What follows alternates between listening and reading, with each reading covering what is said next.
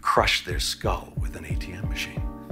That's not how it happened. Who cares? Now, don't you see how great this is? Jesse, look at me. You are a blowfish.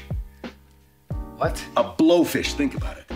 Small in stature, not swift, not cunning.